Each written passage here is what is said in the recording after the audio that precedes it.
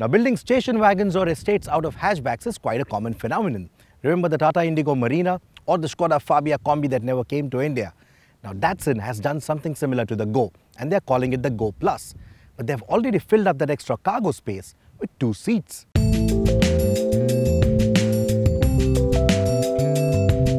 These seats are good enough only for two really small kids. In fact, Datsun agrees on that too and says that the seats are designed for kids up to 10 years of age. Fold these down and you have 347 litres of boot space. Foldable is good, but removable seats would have earned Overdrive's vote. But then again, this car is built to a cost, just like the Go. And so you have the same cabin elements as the hatchback. Everything from the phone holder and the USB charger to the umbrella type handbrake and the old school seat belts. A little more kit than the hatchback would have been a welcome change. The exterior design is similar up to the rear door and wheel. Beyond them is the extended bodywork that transforms the hatchback into a wagon.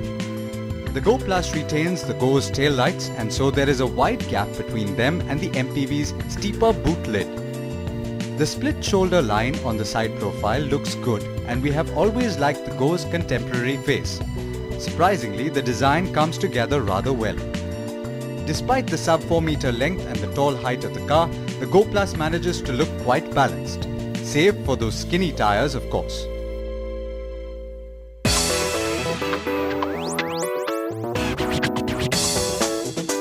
When we drove the Go hatchback, we were pretty impressed with the 1.2 litre petrol engine. It always felt more than enough when you compare it to the Altos and the Eons of the world. The same engine does duty in the Go Plus as well.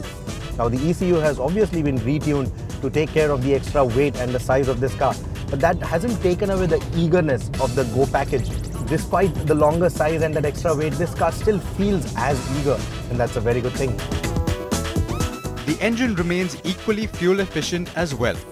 While the Go hatchback managed to give us a fuel economy of 18.4 km to a litre, the Go Plus was good for 16.5 km to a litre overall. Should you care, the Go Plus made its 0 to 100 sprint in 13.9 seconds. One complaint that we had with the Go hatchback was the sound insulation. That continues with the Go Plus as well. Now the mechanicals aren't noisy per se, but then because the sound insulation is so bad, you can hear practically everything that's going on under the hood and also everything that is coming between the tire and the road. So every pebble that it's throwing up at the wheel arches, you can hear it inside.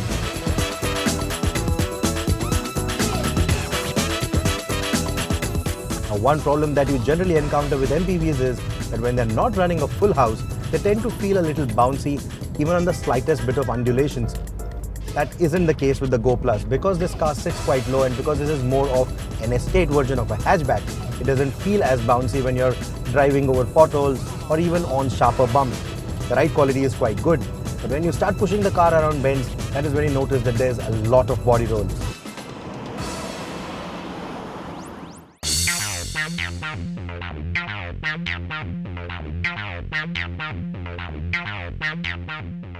The suspension has been tweaked up to accommodate the rear overhang, but you never get the feeling of dragging a tail around. The Go Plus feels quite car-like to drive. Add to it the fact that the tires are quite skinny and it starts feeling skittish around bends as well. At the end of the day, this is not a car that's meant to be pushed around bends, it's meant to carry people. And that job it will do pretty well.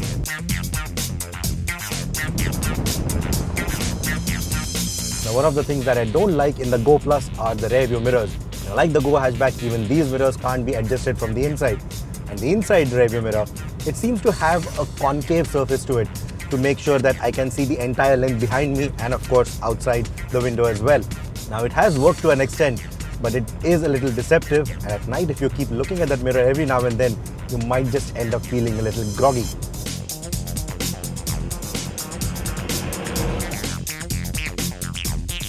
Though it is less than 4 meters in length, we recommend installing a set of reversing sensors on the Go Plus since the mirrors don't quite help in judging its length. We would have loved to see ABS and airbags as well, more so after the controversy that the Go has gotten involved in with the global NCAP. Datsun assures that they're working towards making these two cars safer but that's still some time away.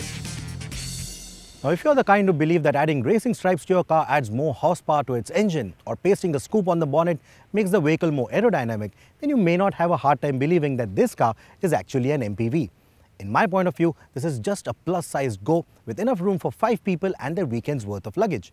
If you ask me, Datsun has delivered on their promise of giving you a spacious car in under 4 lakh rupees. Maybe a good alternative to a compact sedan.